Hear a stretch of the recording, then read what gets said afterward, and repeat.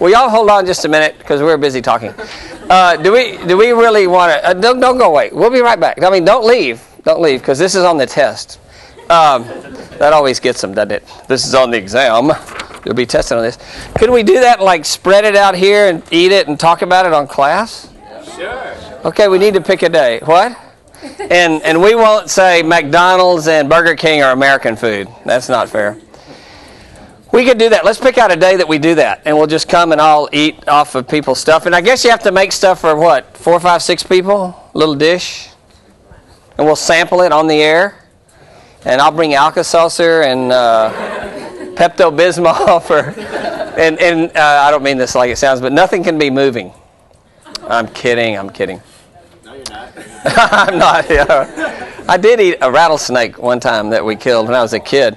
And what's interesting is it's kind of like white meat of a chicken. But what's interesting is uh, the muscles are still contracting after you cut it up and put it in the pan and fry it. It kind of still wiggles. And uh, yeah, I, I was like that. For, for weeks I hissed. I don't know what that was about, but strange thing. Oh, I'm not even on. Am I on? Yeah, I'm on. Okay. Sometimes the camera comes on when we're not ready. Is it on? Is it still on, Stacy?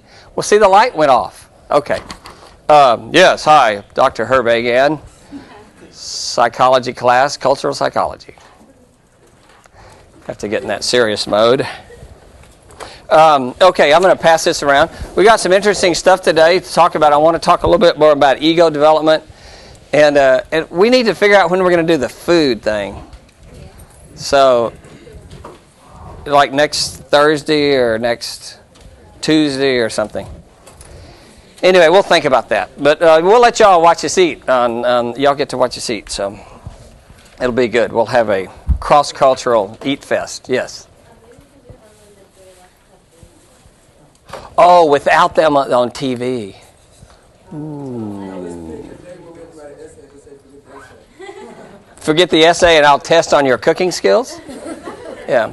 Okay. We'll talk about it after uh, after uh, class uh, today. Um, let me read. This is uh, this is actually a book of uh, poems written by high school students, and these are ubiquitous poems. Anybody, any culture, anytime could have written them. And uh, this one is by a girl named Becky. Actually, excuse me, her name is Stevie in here. Stevie, S T E V I E. And years ago, I thought, that's such a silly name for a. Listen, listen to my prejudices and my. I thought, well, nobody would believe uh, actually a young high school woman would have a name Stevie. And so I changed her name to Becky because I thought that would read better when I read this poem. and it took me about 10 years to realize how I disc Stevie because this poem is about she's searching for her identity, and I changed her name. And anyway, um, so uh, let me do this. Let me read this. Uh, it's called "Everybody Liked Stevie," but this could be any of our names: male, female, any tribe, culture, heritage. Because she was a clown. Many people liked her. I liked her too. I couldn't help it, but someone forgot to turn off the laughter switch inside of Stevie. She would turn on without warning. Her eyes and face and heart and mouth would pop in all directions like corn bursting out of a bowl. Stevie was a clown who loved life, and that meant pain. See if you can feel some of Stevie's cry in the poem she wrote, like a 17 year old high school student. Do you know what it's like to be a clown? Do you know what it's like to suffer from too many laughs? Do you know what it's like for a girl to be born a circus act? Do you know what it's like to have a funny bone for a brain? I thought that was cute. Do you? I don't have any white paint on my face, but I wear this mask. I have this silly smile that never changes. It's always there, and everyone expects it to be there. They like it that way. They enjoy a clown, and they use a clown because they think a clown doesn't care about anything. I can't even enjoy a bad mood with other people. That's a strange luxury. You see, I have to be a clown. Whenever people tease me, I turn into an act, a fool standing on my head. I look up and I see a world full of upside down people trying to be what they're not. I see so many people wearing strange, colorless makeup. And the longer they wear it, the harder it is to discover what kind of people they really are underneath. I'm waiting for someone to step behind my face and find me. Not Stevie, but me. And then she has a prayer Lord, when will this Stevie be free to be me? Well, that's the heart cry of every human being. As we grow up carrying roles, we grow up with our gifts and talents and, and the, the roles of our culture, our religion, our family of origin, and then we're and when we kind of the little sister, the big brother, the smart one, the silly one, the athletic one, the cute one, the serious one, and and we go through life playing this role, and everybody likes it, and everybody's used to it, and uh, but at some point in our life, we go, wait, I'm a lot more than this mask I'm wearing. I'm a lot more than uh, what you see out front. And as she says, when can I, someone, I'm waiting for someone to step behind my face and find not Stevie, but find me, the person. And of course, that's what psychology is all about. Um, those of you in the class, remember the thing I handed you about ego development? That little handout? Y'all are looking at me like you're on drugs or half asleep. But uh, why don't you get that out because I'm going to read over that. And uh, I'm going to go back here and sit down. Uh, but I want to talk a little bit about uh, the ego development. Um, if you have it, and those of you on, uh, hello, yeah, that's it. That's it. Yeah, it looks like this. Well, that's it. And uh, oh wait, I need to look down. And for those of you who are watching on TV, if you just uh, check in the website and look under Cultural Psych ITV, and uh, you'll find the handouts. And like this is one. And, and let me just uh, share these. Actually, I got these at uh, both of these things. Uh, some of it's typed not too well, but then that's my. Uh, I was in the blue group in third grade for handwriting and have never recovered from that. But um, uh, that's my handwriting. I, actually, I got this this from a 12-step program I used to go in, uh, for years and years. I still go occasionally. Uh, it's a great support group, and uh, it's a good place to grow and check in and work on your own stuff. And but anyway, I got this at a, at a 12-step group, and uh, let me just read it. Or do you want me to leave it here, Stacy, and look at it? I'll just read it because they'll be reading it at home. when they're having their chicken pot pie dinner watching my class. Uh, the first one is I affirm that. And, and this is this is when you when you have a good sense of who you are in the world over time and work and have a, an awareness of of your life, you're able to I affirm that just for today. These are signs of good ego development. Just for today, I will respect my own and others' boundaries. We haven't talked about that. We may in, in, in, a few classes to come. Just for the day, I will be vulnerable with someone I trust. And remember, vulnerable means able to be wounded. See? I'm able to share something that's personal. Uh, just for today, I will take one compliment and hold it in my heart for a, just a fleeting moment, and I'll let it nurture me. Just for today, I will act in a way I would admire in someone else. I am a child of God. I am a precious person. I'm a worthwhile person. I'm beautiful inside and out. I love myself unconditionally. Now, that's a hard one to do, is to love ourselves unconditionally. Most of us have a lot of self loathing. There's certain things about ourselves we just beat up on for years and years, and it never goes away at some level. But to love ourselves unconditionally, just warts and all, I, I, I, I love myself and value who I am. See, that's a sign of someone with pretty good ego development. Good self esteem is another way to put it. I have ample leisure time without feeling guilty. That's probably every college student. I deserve to be loved by myself and others. I am loved because I deserve love. You know, I'm on the planet. I need love. I deserve to be valued. I'm a child of God and I deserve love and peace and prosperity and serenity. I forgive myself for hurting others and, and my, myself and others. I forgive myself for letting others hurt me. I am willing to accept love. Many of us can love other people, but we can't accept it. I find as a therapist in my private practice.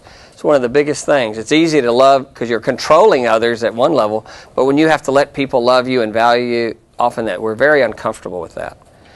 I'm not alone. I'm one with God and the universe. I am whole and good. I am capable of changing. And then on the back side of this, this is another signs of ego development. Is as a person I have the right to, and then I added in there, and this is probably this is sort of postgraduate human development. because when you have a sense of who you are, you want other people to have a sense of who they are. When you learn to love and value who you are and see that your life has worth and you're meant to enjoy and become and, and discover, then you respect other people do too. And they have a right. So I added in here, as a person, I have a right to, and others do too. This is kind of weird including my parents. My parents are both deceased, but uh, including the, my enemies, including other races and cultures, including other people of other sexual orientation, including uh, people I don't understand and I fear, including people I admire. I have a right to be myself, and so do you.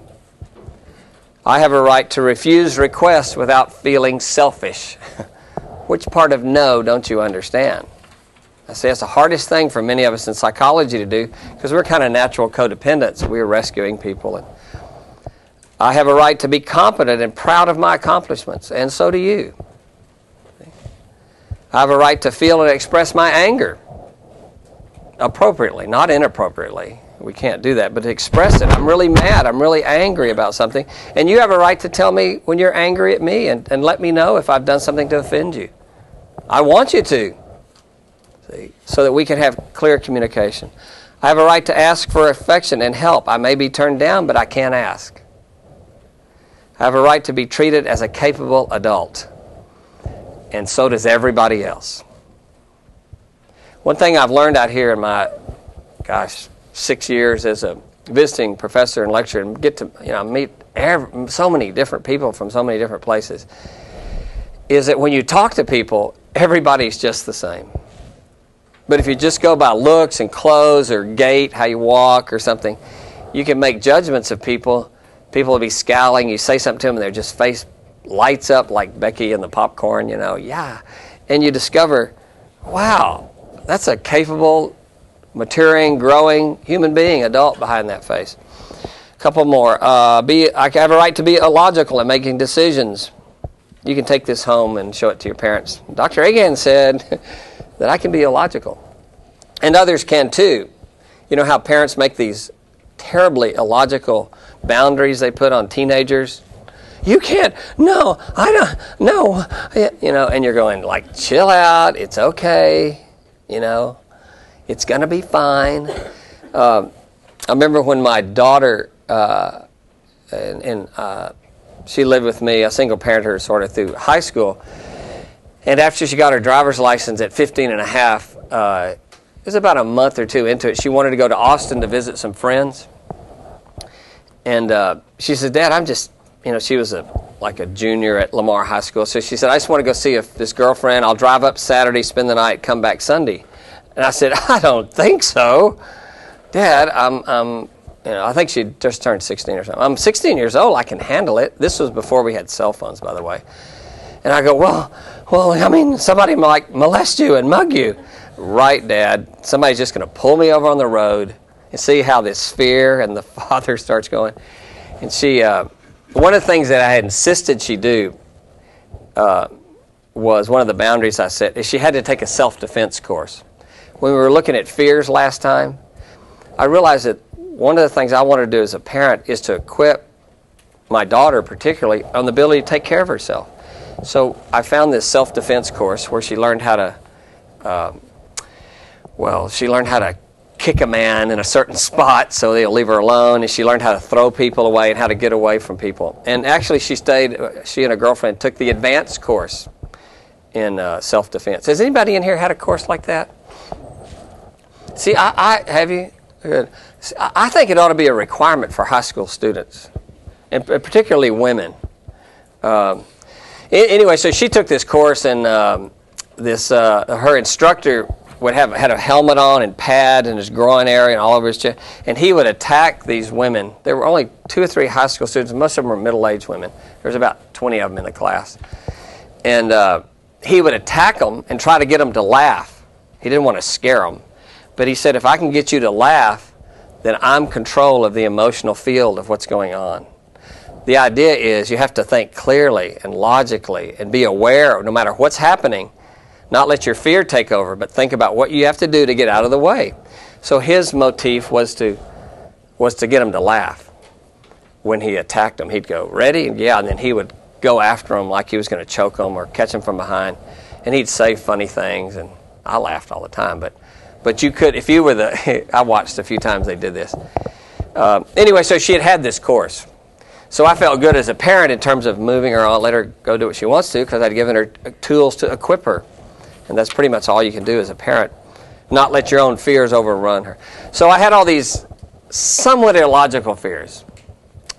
Well, well what, what happens if so, Dad, I'll be okay. And besides, uh, I can just pull into a filling station and, uh, you know, I'll be all right and I'll travel in the daytime. I'll call you when I get there. This is before cell phones. Call you when, uh, well, before I leave. And she said, besides, Dad, I can take a man's eyes out. And I said, okay, no curfew, do whatever you want. Just Cool. And there's something within me as a dad that said, this is good. She has awareness of space and light and dark and what's safe to go into, not safe, a sense of doing that. And all of that is ego development. All of that is good ego boundary development. A few more. I, have the right to make mistakes and be responsible for them. It's called contrition. Contrition. I blew it. I was wrong, like Fonzie never could say on TV. I was wrong to be responsible for myself. I have a right to change my mind. I have a right to say I don't know, and other people do too. Other people have a right to change their mind. I have a right to say I don't understand. I have a right to say I don't care. You might duck when you say I don't care. Um, but you have a right to say that. I have a right to offer no reasons or excuses for justifying my, my, justifying my behavior. I just don't want to. Well, why? I just choose not to do that. But why did you spend the money on that? It's because something I wanted to do. But what was the reason? I don't have to give you a reason. It was something that I decided to do with the money that was mine to invest it in this. See? Good ego development allows us to do that. Uh, another one is I have the right to have my opinions given respect, and so do you. If there's somebody who doesn't respect my opinion over time, they don't have to agree with it, then they, they're not my friends. I don't hang around people who it's either their way or the highway. You know what I'm saying? People like that. Good ego boundaries. Uh, I have, have needs that my, have my needs be as important as the needs of others. I have a right to tell someone what my needs are, and they have a right to tell me what their needs are. I have a right to judge my own behavior, thoughts, emotions, and be responsible for their consequences upon myself. I have a right to judge if I am responsible for finding solutions to your problems. This, is, this gets into heavy family therapy stuff because most of us are fixers. We think love means fixing somebody else's problems. We, we fail to see sometimes love is listening and supporting and not fixing. Um, it seems like I tell parents a lot in my counseling work. Excuse me. I tell I tell parents this too, and high school students. I, I tell parents no unsolicited advice. Don't give any more unsolicited advice after they're about 15 or 16. You can say, "Would you like some advice?" to your teenager, and they can say, "Yes, I would," or "No, I wouldn't." But don't be, you know. But see, I'm doing this. I'm I'm giving you advice about not to give advice, but. Uh, and a few more is to I take pride in my body. I have a right to do that, and others do too, and to define attractiveness on my terms, not on anybody else's terms. See, that's huge. Most of us define it on terms of television or media. I have a right to grow and learn and change and value my age and experience. And others do too. And I have a right sometimes to make demands on others, and others sometimes have a right to make demands on me. Because sometimes love so love has to be a bit tough. Sometimes love has to be tough on me. Sometimes love has to be tough on somebody else. Does this make sense, kind of, sort of, in terms of ego development? It's uh, kind of a lot, a lot of Dr. Phil kind of stuff, but it's basic ego development from Dr. Herb. Stay tuned. No. Um, okay, last time we were looking at, uh, I want to look at more of this before we have our little deal. And we looked at these fears, I'll just to go over it. And uh, the fear of being smothered, the fear of being abandoned, the fear of being attacked, or, or, and the fear of being exposed, the fear of change, the fear that our instincts would turn on us, and the fear of the unknown and death. These are fears that underline all of our lives uh, all the time, and, and, ego development is coming to terms with that. And I think when we look at uh, diversity and uh, uh, uh cultural differences, personal differences, I think a lot of it is just fear because we don't know. I always have told my white friends, you'll change your opinions of black people when you get when you have a black friend. have you all discovered that? If you find one person of another ethnicity or race and they become your friend, it changes your view of everyone. Um, uh, somebody was saying, I think after class, was it? Did you say it, Charity? No. Somebody in the class said that the two primal fears of a child is a fear of noise. Do you want to get credit for that? No, no. I was just. Yeah, yeah. yeah. The fear of noise and then the fear of falling. Yeah, are the two primal uh, sort of instinctual fears. And of course, those would probably have to do with abandonment or, uh, or, or fear of dying. But fear of falling and fear of loud noises or something seems to be in the DNA of every human being in every culture, every tribe. Okay. Um, now, let me talk a little bit about ego development because I'm trying to get to some place uh, that I just haven't gotten to yet. So push down right here. Yeah. And uh, hi. Wait, I'll hold my hand there for. Is that on there? Is that our? Is that UT? Somebody told me the UT symbol. U, U of H. Oh, Freudian slip. My gosh. I went to UT. I got my master's and my doctorate from U of H. Somebody said the U of H symbol is. Does anybody know how it came like this? Yeah, Yeah. Push the button, Dale. Oh.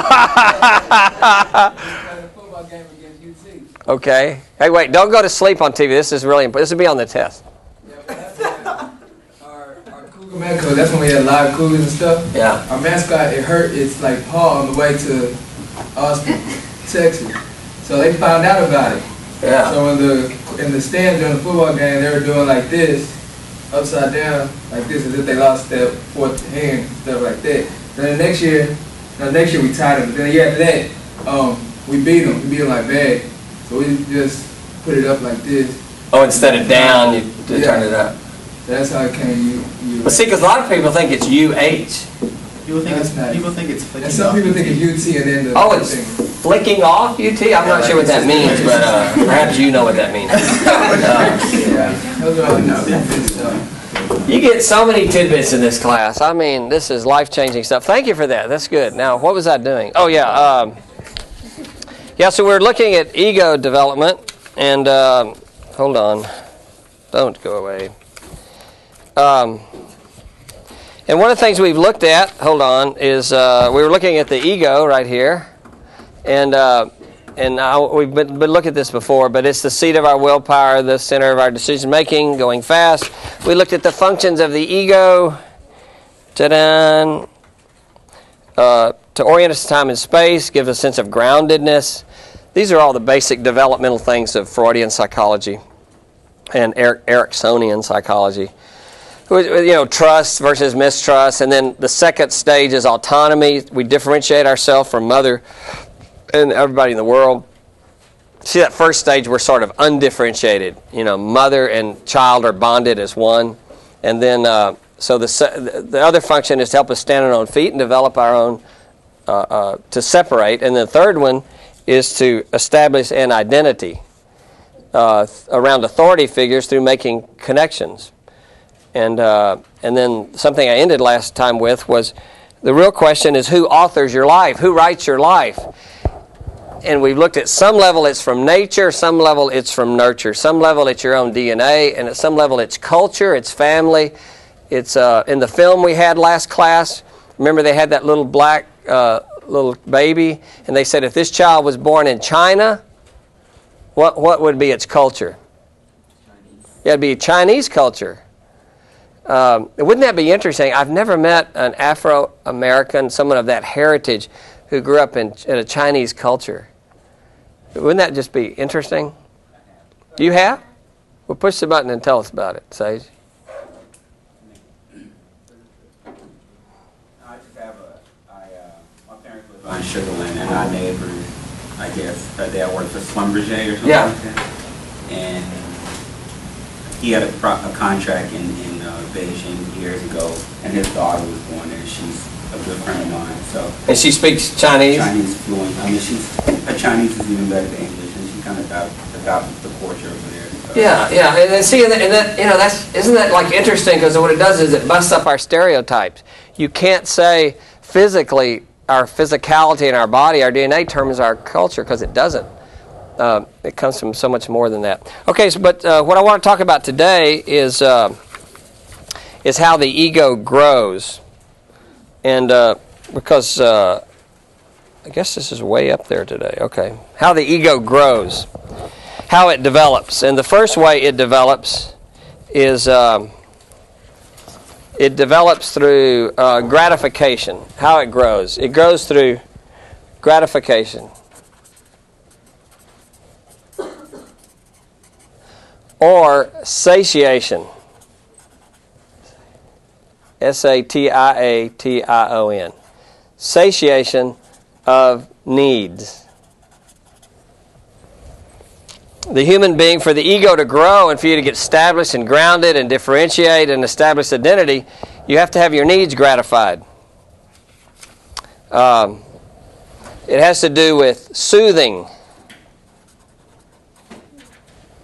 It has to do with uh, comforts. Comforts to lessen pain. See?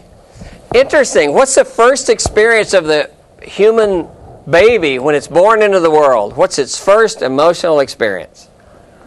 Crying. Yeah, welcome to this life. I mean, it's, it, think about it. To the child, it must think it's dying.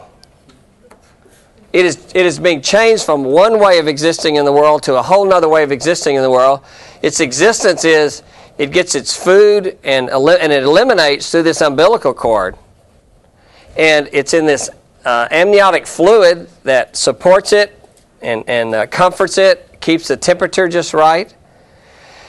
It's protected, see, and this, this child basically lives in another world. And so for the child to be born and have, I mean, the eyes aren't working, the ears aren't working, although they say kids can hear things uh, uh, fetuses can.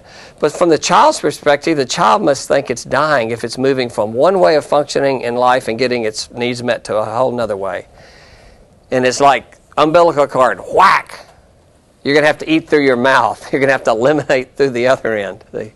And uh, all of a sudden, from the child's perspective, you see the radical transition in its existence. See? And so, number one, it cries. It says, Feed me, help me, I'm afraid, I'm abandoned, I'm scared. And uh, what are some ways that we gratify uh, a, a, little child? Buy them candy. What, what are some ways we satiate the needs of the child? What are the needs of the child? Say it again. This is not rocket science. Yeah, it's a, uh, it's a uh, holding, food, candy, probably not. Candy is not a necessity, but food is a necessity. And what else? Uh, uh, clothes, uh, you know, holy uh, is changing them. These are ways that they get their needs met. Listen, this is why, and this is all of us in this class, and probably everybody ever take this on TV.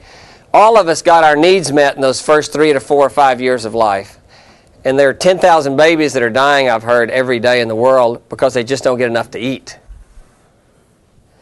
And you can't develop your life if you don't have a life to develop. And I think it's important to kind of look at that. Is satisfying our needs is very important.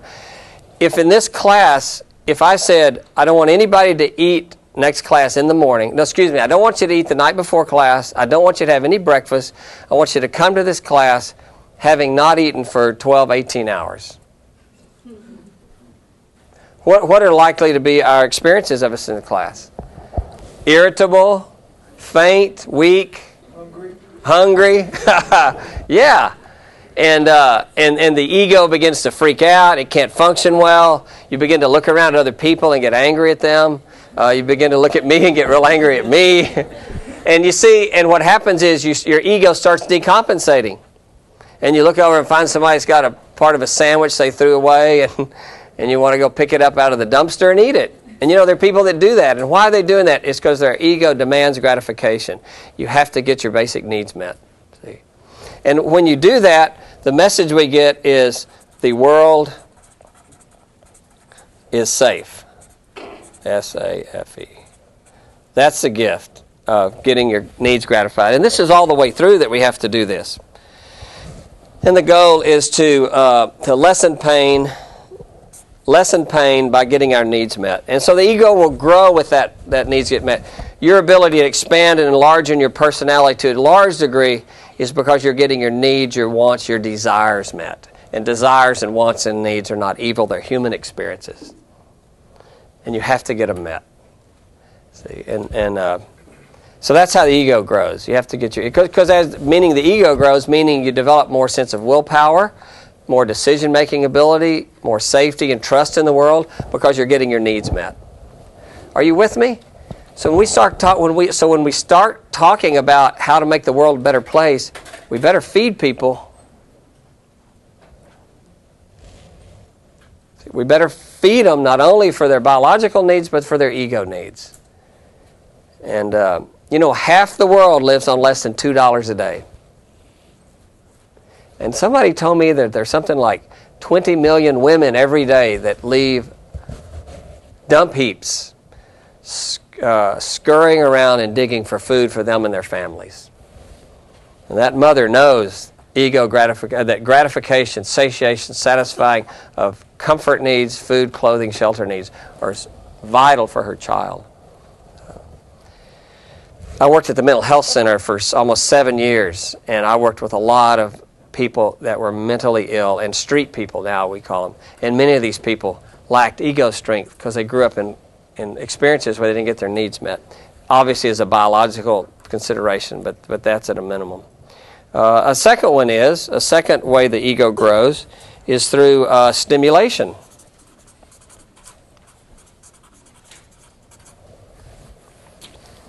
Uh, and stimulation is through stimulation, and it forces growth. Forces growth. Because stimulation uh, tells the ego it is, that it exists. The infant will not prosper if it's not stimulated. You know those little mobiles, mobiles we hang up above the crib? You know those little uh, you wind up and go around, and that little kid just looks at it and goes, "Yeah, yeah."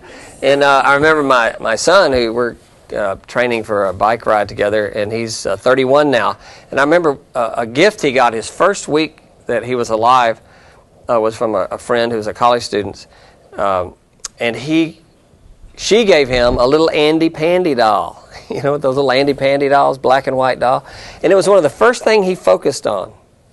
You can watch his eyes move, see? And, and uh, he cried when I walked in the room. No, he, uh, but he did, no, he'd hold the Andy Pandy and his eyes would focus on it. And when you play with the kid, coochie, coochie, goo, all that stuff, what you're doing is you're stimulating them. And when you stimulate them, it makes the brain uh, uh, begin to activate. And the ego begins to grow through stimulation. And see, one of the reasons you come out here to school is so you can be stimulated with new ideas, new experiences of life, because that will cause you to grow. Because you're not going to see if you find the perfect little safe place, you never meet any new people, never hear any ideas, never have any things that, that scares you, awes you, creates wonder, mystery, disturbs you, then your ego will not grow.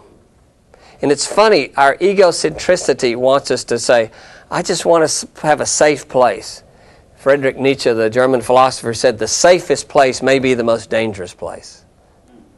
Because you don't grow, you don't develop, you don't learn how to cope with life because we try to escape life, see. Um, the people with the stronger egos are those who've been tested and challenged in life. Athletics do that, don't they? Those of you that do sports. Relationships test us, stimulate us, positively and negatively. Remember, another uh, synonym for love is hurt, and relationships stimulate you uh, e- either way, positive or negative. So, uh, in a stimulation, thinking of the child, uh, things like uh, like touching, speaking to the child, feeding, and again, these are just not satiating, these are stimulating things. Reading to a child, and of course, uh, playing with a child. Playing with a child. All of these are stimulating things to do.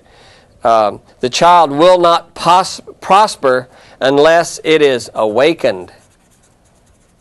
Its ego will not prosper unless it's awakened to the environment.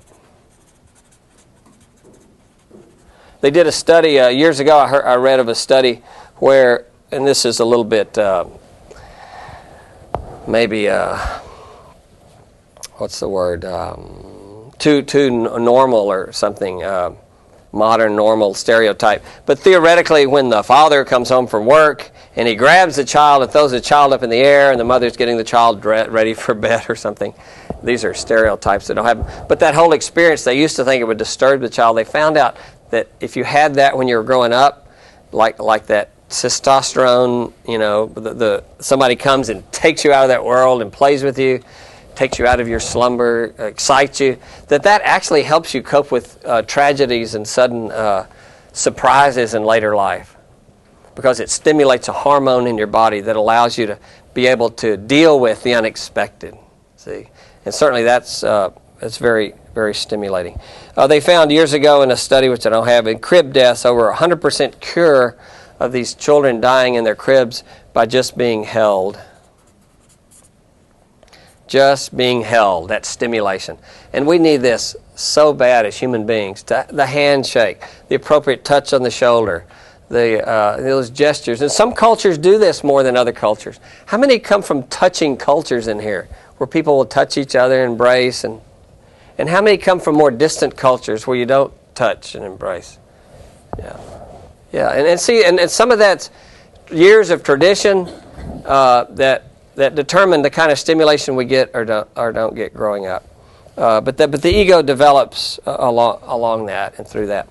Um, and then let me do the last one here on how the ego grows. And that would be um, does anybody know what the third thing might be? I've, I've taught this in other classes, basic psychology stuff. What's the other thing that helps people grow? It's approval. Approval says, you belong, you're wanted, you're, you are okay.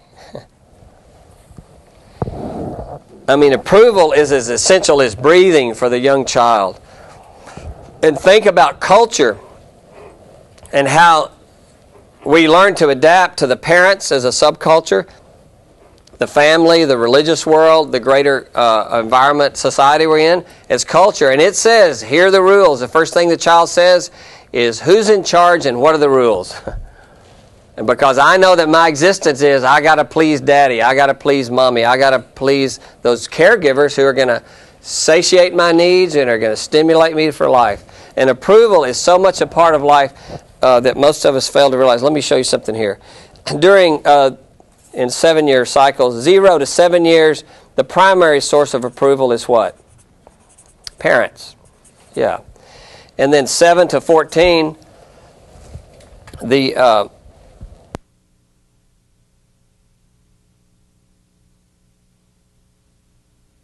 Too glad I didn't do that in the microphone.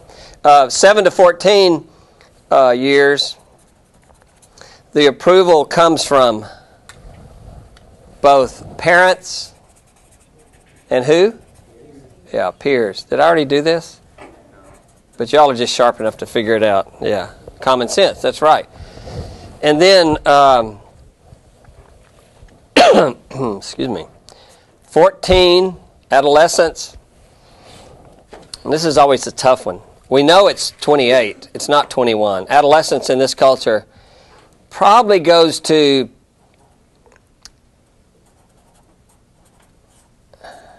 we have the longest adolescence of any culture ever in, in human existence. That's long. It's not 21. It used to be at one time, if you lived on the farm, uh, in medieval times uh, in Western culture, you know, people would be matched to marry when they were 13, 14, 15. Uh, you're pretty much out on your own and working. But now we have so much uh, uh, protection and safety, and uh, you can wait to grow up for a long, long time. And so this is adolescence, and during our adolescence, our primary source of approval is peers peer pressure is more important than parent pressure. And then, and that's not taken away from the parents, but then this old thing called the self. What you want to do with your life, what seems, what you approve of. You can't go through your life pleasing everyone else all the time or pleasing your parents. I mean, if you're 35, 40 year old still doing what mommy says, you, you, you need to come see me or somebody for counseling because you got to work through that. And th- that doesn't mean you don't respect your parents or, or seek their wisdom and insight.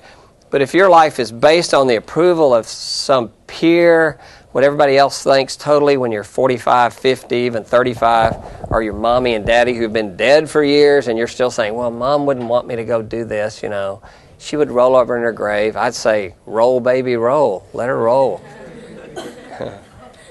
uh, yeah, Dale, you had a question? Oh yeah. Mm-hmm. I think marriage partner would be part of peers. And then and then look at this and I'll so and then somewhere around 28 to 35 and maybe this is more like 40 or 42 in this culture who knows uh, then really you, you want to the self the deeper self the true self what our poem stevie was saying i want somebody to find me behind stevie see what she's saying is I'm tired of being what the parents want, the peers want, playing out my life to them so I can get approval. I'm looking for what's inside. And ultimately, that's what it is, is to follow that inner world as it unfolds. And that's what college and education, through gratification, stimulation, and approval, we move from others toward ourselves. Now, let me just throw this in, and then we'll have our little uh, have our presentation today. This is, let me say this, a few more things here. This is the sense uh, to be me. To be me. The sense to be me. How approving and accepting is my environment. And the ego cannot contain in consciousness that which authorities don't approve of. The ego cannot contain um, what's uh, disapproved. The ego cannot contain it. What's unacceptable? What's unacceptable?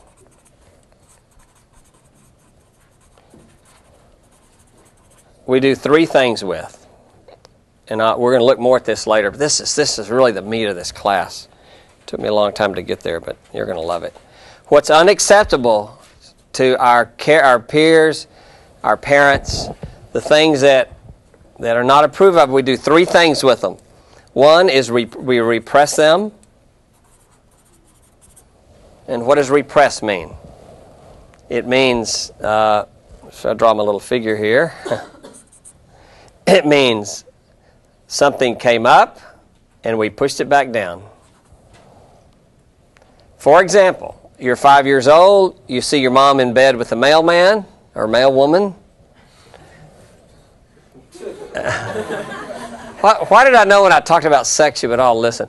Now, you see your a parent in bed with somebody else and you're five years old and you see that and the, your parent looks at you with the eyes that say, If you ever tell this to anybody, I'll kill you.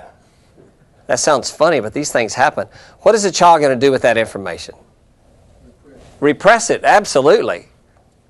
Or, strangely enough, and this is psychology class, and we're at the university, uh, your uncle fondles you, and you're nine years old. You're a boy or a little boy or a girl, and, and your uncle or some strange person touch you in an inappropriate way. And this uncle you love, or this aunt you love, because they're real friendly and, and nice people, and they do something that you know is inappropriate. Now, if you come from a healthy family, you go immediately to your parents and say, What happened?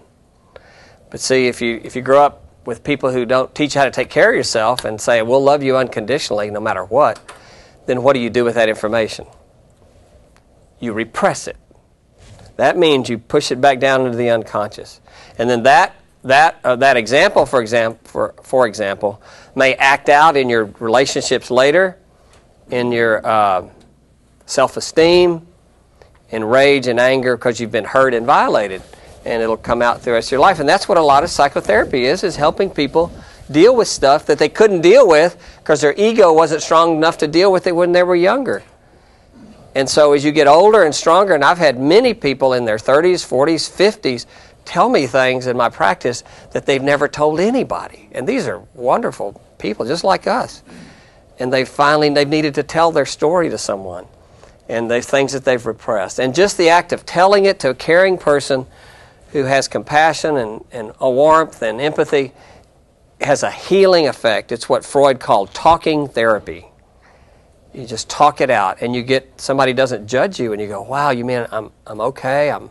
And see, it's very important. The second thing we uh, that we do with things we can't that's not approved of is we suppress it. I think it has two P's. And we suppress it. And what does suppress mean? That means we never let it up. We never, it never comes up. And it might be that uh, you're grow up in a family of athletes and you want to play the violin and you're a guy and you're the biggest, strongest athletic person in the family and you want to play the violin. And father, mother, big brothers all say, like hell, a real man plays football. And you're saying, I want to play my violin. I mean, well, you don't even say it because to say it would be then you have to repress it. You learn to suppress it. Or if you want to do art, or if you're homosexual and you have these feelings and you just don't let them out. And we say coming out of the closet, and that's people often letting their own sexual identity out after years of suppressing it because it was unacceptable in their religion, their family, to themselves. You see what I mean? So suppression is you never let it out. And a lot of things that are suppressed you don't even know about. And then the third thing we do with this is uh, does anybody know? is we, we project it. Is projection. And what is projection? Ject means throw, pro means out. we throw it out. What does that mean? That means the things in my life that haven't been acceptable, that are buried down here, either I hold them down and, and they're suppressed and they cause psychosomatic illnesses and keep us from the freedom we were born to experience, like I just read earlier, or we repress them. Uh, we, they've never come up, or we hold them down, or we do, watch this, is we project them out on other people. Or play, or things or things in life. We project it out. In other words, we throw it out of ourselves onto another so that the people I really hate often, we are what we hate. The things you don't like in other people often may be something in yourself you haven't come to accept. I know you don't want to hear that. You are like your mother the moan goes through the. You are like your. You are, and the other thing is true. I mean, that's a negative thing, but positively, you're like your mother, or you're like some TV star or movie star. It's a positive projection. The things we like about other people, that are talents and gifts that are in our unconscious, we throw those out on other people too. So if you made a list of three things you don't like about people, there are probably things about yourself you haven't come to terms with. Those are called negative projections. And three things you don't like, you do like about somebody, it may be something about yourself you haven't discovered and you need to work on it in yourself. It's a positive and negative projections, and we're going to look more at that as the class goes on, because I think this is where cultural psychology and diversity is just fabulous. You can learn so much about yourself when you learn uh, embrace this idea of projection. And let me say this: this is uh, chapter one and chapter two of Owning Your Own Shadow by Robert Johnson. The little book you bought. Now's the time to read it. There's three chapters, but chapter one and two. I had a stu- uh, one of my clients the other day said. That is the longest short book I've ever read because every two or three sentences makes me think a lot. See, but he talks about projection in there, and uh, that's what that is about. So that I learn a lot about myself on from other people and my feelings and reactions towards others, and we'll look at that. Okay, that's a lot of good stuff for the test, and we'll look at more of it because we have more classes before the test. But any questions on that? You see what we just did today? We said we, we looked at the ego grows through gratification, and it grows through stimulation, and it grows through approval. And what's not approved of, I, I don't know if it's okay to end a sentence in preposition. I think it is if you can't go anyplace else with it. Uh, what's not approved or what is disapproved, what's not acceptable, you have to do something with it. Either you hold it in, you, it either comes up and you hold it down, or you never let it up, or you project it out on other people. And the richness of life is discovering your projections. The things I hate in others are often things in myself I haven't come to terms with. The things I adore in others are things about myself I haven't, uh, I'm not honoring and finding and discovering. And I'll give you some great examples, and we'll look at a lot more of that later. Okay, we got some great uh, uh, little uh, deals today, uh, presentations today on stuff on uh, WASP striking back and white man's knapsack. So give these guys a big hand. Not supposed to turn your back to the camera. But how am I going to move this without doing that? nice, nice, weak applause. Isn't that stuff interesting about the ego? I'm giving y'all way too much information uh, that uh, you'll understand so much more. It'll be fun. Uh, Sage and Deo and Jason, right here. Good job, guys.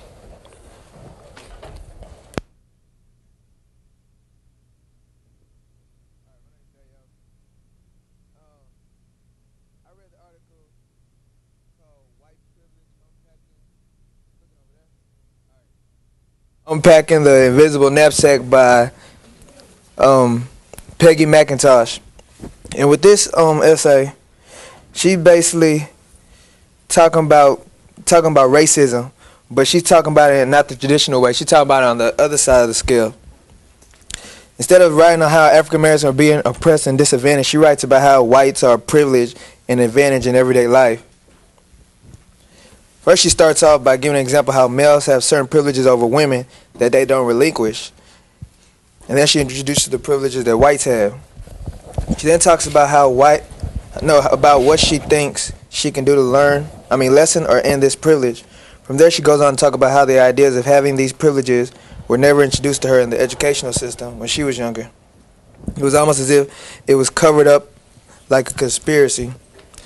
Then McIntosh decides to list out many of the white privileges that occur in normal everyday life. Examples of this include being able to shop alone and not worry about being followed, watching television and reading newspapers without her race widely represented. I mean, with her race widely represented, doing well in a challenging situation without being called a credit to her own race, and having the ability to choose a a blemish cover or bandage in the flesh cover of what she is and having more or less match her skin color. She doesn't seem to come to the realization that her skin color has always been to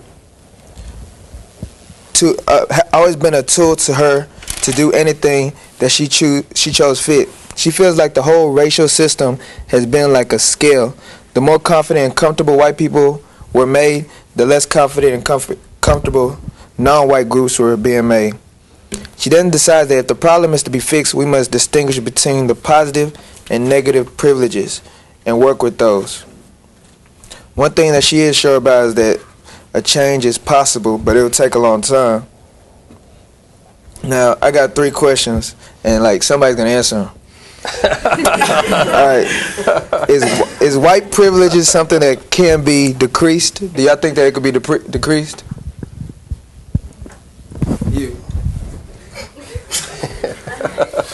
Well, it's not that something should be increased or decreased. Everyone should just be on the same level.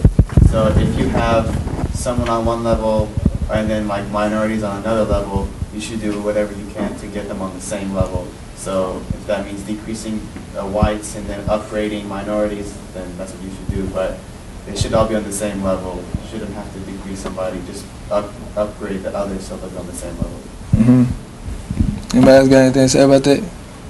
No. All right. The second question is: Is there any privileges that other races receive that whites don't?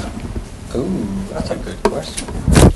Well, it's kind of like where you're at, where you're, you know, from white, white. I'm talking about like in U.S. Yeah.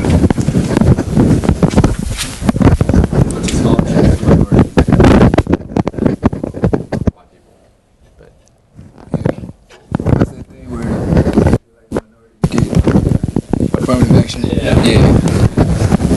Anybody else got anything to say about that? benefit minorities because in actuality, if you look at the statistics, white women benefit from uh, affirmative action more than anybody. How's that? I mean, I don't know about affirmative action. I'm, I'm curious. Because affirmative action is, isn't limited to race. It says minority groups, and that also includes women. And more often than not, white women benefit more from it than somebody that's African American or Hispanic or Asian. That's interesting. Interesting. I didn't know I that. didn't know that either. Did you read that like in an article or something, or do what? Yeah, it, no, I mean, I mean, I'm not questioning it, but that, that's that's fascinating. White women benefit from affirmative action more than minorities, male or female. Because technically they are female. Right, Look at it more so as a color issue. right. Wow. Um, I don't really think that affirmative action is like um, a privilege because I think in the article she also mentioned that um, those people who do re- receive affirmative action, say like with like a white employer or uh, with an employer that does implement affirmative action, most of the coworkers are always suspicious or they suspect that you received the job not by your virtue but by your affirmative action, like by Hmm. being under that constitution. Wow. All right. Anybody else? All right. Third question. Um, what do y'all think could be considered as a white disadvantage? Anybody? What do you think? What's a white disadvantage? Boy, those are great questions. Any white disadvantages? Uh, uh, I don't know, maybe um, reading this in an article, the fact that like um, like whites don't know Ebonics as well as some minority races. That's looked at as some sort of. I read an article a long time ago. Uh, That's a stretch there. or something. I- I- like if it, it was it was relating to like um, how it was relating how to like uh, like SAT use is made for a predominantly white class and yeah it's a biased exam and it was actually in my psych book from last semester and they said that you know if they made it more if they put in a few more ebonics terms then some minorities would be able to do better so that could be it i really don't know What about you, Dr. Agan? Um, White. I'm white. you, get, you get extra credit for that. Um, well, actually, no. The um, th- that's a good question. You, see, I, I- my, I've been privileged to be around minorities in my- work, and, I've, and I, in many ways, I've chosen to do that, and it's enlarged into my world. My gosh, it's. Uh, it's been humbling. It's been, uh, I've discovered much more breadth and depth of life and creativity and friendship and everything. And, and see that there's a deal called the impoverished rich white man. He's got all the money and all the power, but he's lonely because he can't just be a human being. He can't just be. He can't just go dance, have a good time, have friends that love him and care for him because he's always in that. It's kind of like the, uh, what's the word, the CEO complex. The CEO of a corporation is usually the loneliest man or woman at the top. because people can't relate to him. And, and you know, I know from the perspective of minorities, it looks like, well, what's he talking about? But uh, a lot of, uh, you know, being right and having power doesn't necessarily give you life and soulfulness and happiness. And I don't mean soulfulness in the black context, but as a human being. Because you know what happens? You get all your needs met, but you don't get stimulated to grow. A lot of minority people have a lot of stimulation because they're having to deal in a, a situation where they have no power, but often don't get their needs met. And uh, it creates a whole nother scene. But uh, I think there's an, there are a lot of white people who are not very alive. Are y'all with me, kind of, sort of? You think that's kind of true? I do.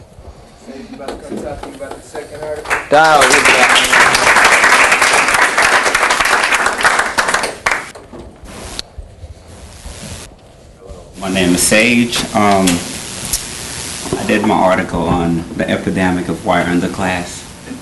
Quite interesting. Um, the name of the guy is Charles Moore.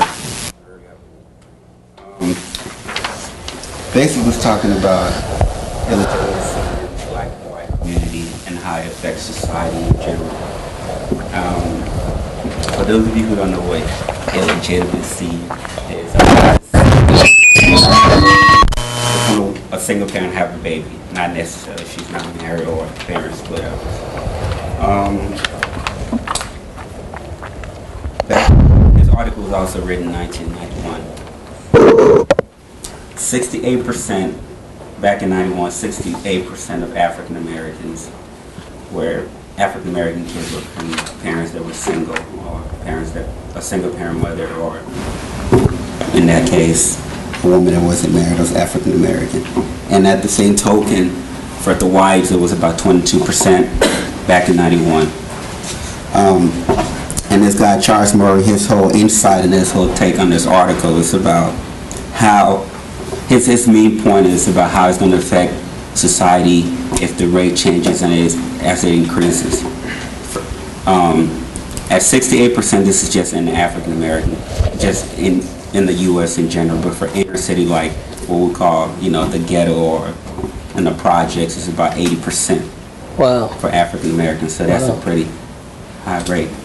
Um, and it has been a proven fact that uh, enormous amount of crimes due to this, a lot of crimes with the with the illegitimacy rate, it, it increases the crime rate in, in African American communities as well as in white communities because of you know bank robberies and you know unemployment rate is high and that affects the economy you know to a certain degree.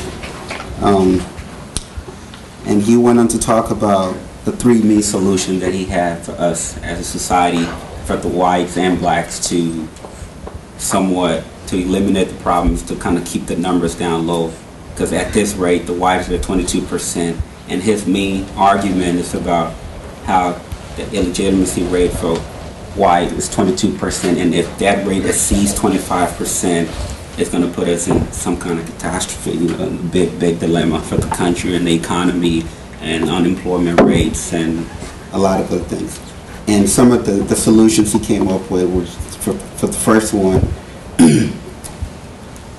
his, his uh, I guess his calculation on that is to, to end all like support from the government, for example, like welfare and, um, you know, food stamps, you know, like cheap housing, like in the projects and stuff like that.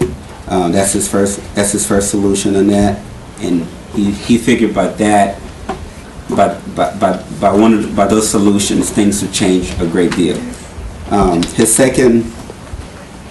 His second solution was like to use the money, like the money that the government is using on projects and welfare.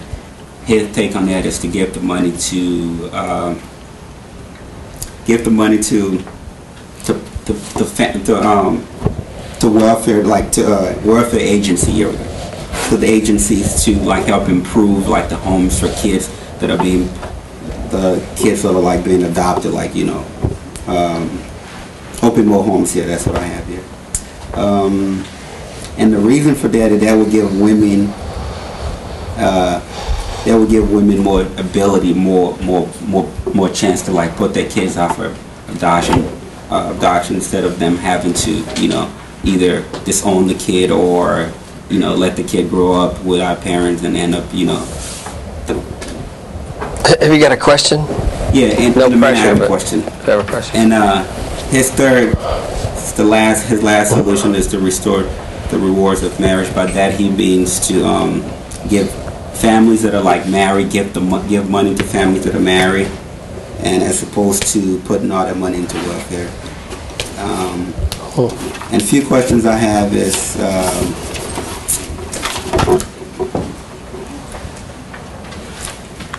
as a class in whole, what, do you guys uh, take? Uh, what do what do you think about you know the the what do you think? What, what's your solution? What kind of ideas would you come up with that would you know help society as a whole keep the illegitimacy rate down? Or what would you you know what do you think would help us as a society? Anybody?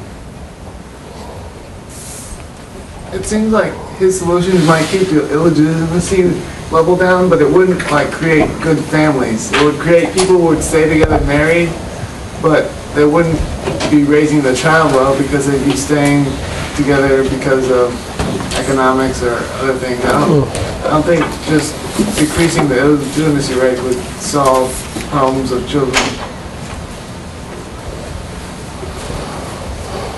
Good answer.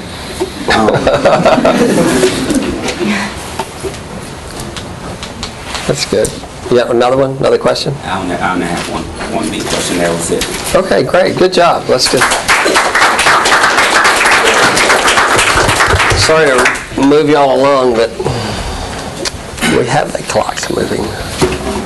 Uh, my name is Jason Straw. Um, my article was about uh, the name of what's called?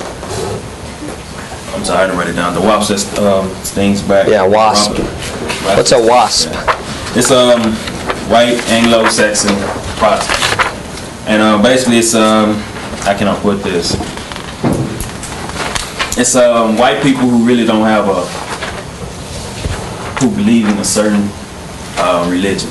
It's basically um, they believe in Christ, but they they not uh, they not um, Catholics? Catholic. Yeah, Catholic, thank. But um, he, he talks about um, how he's tired of uh, the stereotype, and he talk, he's, he's tired about he talks about how um, they write writing articles about how um, he say that WASPs have no honor, and he basically he means that by um, saying that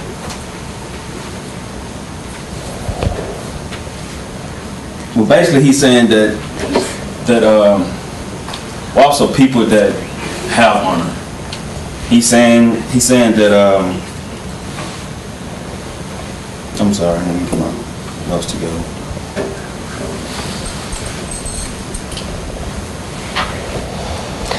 He states he states that Watson invented the idea of limited government. So without what I, what I should say, without the WASP, there wouldn't be no limited government. We might be under one dictation.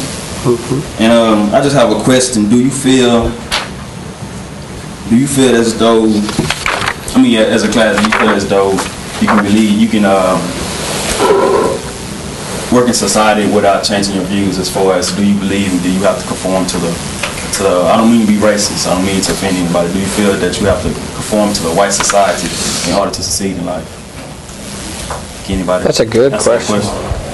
Yeah, I feel like I have to conform a lot to be a professional and make a lot of money coming from like some of the things that I used to do back in high school and people I hang around. So it's a big difference. Do anybody feel that they can just be themselves and believe in their own beliefs and still succeed in life? Or do you feel like you may have to you have to make some sacrifices? I think you can be yourself and be 100% yourself and still succeed in life. I think I'm doing that personally. I feel like I'm myself and I'm succeeding. I think. That's. Um, She- Do you have a comment, Kalea? I was gonna say, I think you, you can be yourself to a certain extent, but uh, it just depends like on what kind of profession you want. Because in corporate America, and this is not to offend anybody, but you can only be so black in corporate America, and it's just um, you don't want to compromise yourself, and you. I think everyone has to assimilate to a certain extent in order to be successful, but it's only a problem when you compromise who you are in order to gain your success. I feel that because um, like when people go to interviews, there's like a certain standard they already know they should like go dress well, Right. talk through a certain way, and just the fact that you have to do that at an interview, an interview they're supposed to find out who you are, but you change yourself just so you can succeed in the interview. I feel like when you when you try to make it like that's what you gotta do. You gotta change yourself just enough to get in the door, and then when you get in there, then you can start becoming more of yourself. Right. That's good. But like, I mean, And that's, that's to understand too, because, I mean, once you, I mean, like I have a buddy of mine who just landed a job with a, with a consultant with Ernst, I mean, Price Waterhouse, it's uh, an accounting firm. And he, you know, really smart cat, you know, like a three point six Right. year or so. But, you know, society kind of judges you by your outer appearance Right. in most cases and the way you carry yourself, not Right. necessarily based on what you know. Because they're even asking him to cut his hair because he had a fro Right. and stuff like that. But he's a brilliant guy, and he left the company and went to grad school last semester. Do something else. Uh, but your appearance doesn't matter a lot. Yeah, that's good. I think you can be yourself, but to a certain extent. I think once you in a position where you have control as far as if you own your own business, then from there you can actually be yourself. But until you get to that point, Right. I actually feel you have to make sacrifices. You know, I, I- I'm not racist, but honestly, I do feel that I'm living in a white society, and I must conform sometimes. You know, I don't, I don't mean I'm a, um, a seller or anything like that. It's just sometimes you have to make some sacrifices to get to the next level. That's how it is, right? That's. Okay, thanks, guys. Good job. Great job. Great job. Let me uh, let me just share one thing that they're all hitting on that's so good is uh, um, it's this concept of uh, we, we still got a couple of minutes and, and you know me I can give give a lot of good stuff in a couple of minutes is uh, the two themes of life is uh, fitting fitting in first half of life you fit in, and the second half of life, to a large degree, you do what? Is about fitting out. The first one's about joining the society, and the second part is about making sure you're an individual. See, it's doing both, and I'm not saying. Well, Freud said this. He said the price of civilization is neurosis because in order to fit into your family, it's not just the white culture, although uh, obviously the United States is predominantly run, it's run by white people and white people's money and white people have all the power, much of the power. Uh, what- it could be your parents that your job is you got to get food, clothing, and shelter. you got to fit in at a certain level. This is what's so terrible about people from abusive homes. You know, where are they going to go? If you're getting beat and shamed and hurt physically, emotionally, psychologically, where are you going to run away to when you're five and six years old? Fortunately, we live in a culture now that says Children Protective Service, if you even hear of somebody being abused, you're you're liable under the law to do to make a, an anonymous phone call. But the here the idea is I this is a paradox, and we'll see that a lot. Is I both have to fit in and fit out. I have to be willing to be my unique self, but I have to learn how to fit into society. Listen, if I say I don't give a dang what anybody says. I'm going to drive on the side of the street I want to, and I'm going to go through the lights if I want to go through them. I'm not going to stop at the red lights. I'm going to fit out and just do my thing. Well, we can't have a culture, can we? And so part of it, it what, what we're really dealing with is the powers that be and how I can get acceptance and then how I can find my own life. And, uh, and I'm saying, I as a white man, all the things I've to succeed, and I have. I've had to sacrifice. I love. I love the word uh, you use, Jason. The word sacrifice. I've had to sacrifice a lot of things, but ultimately they weren't sacrifices because they helped me get more power and credentials and acceptance. I think it's tougher if you're a minority. Um, but I've been a psychologist and a minister, and that's kind of weird, even for white people, somebody to do those things. Uh, okay, I'll have uh, next time we start. Uh, I'm going to show you some neat things about projection. And uh, I'll see you at the next class. Great. Now, did, did we decide about the food?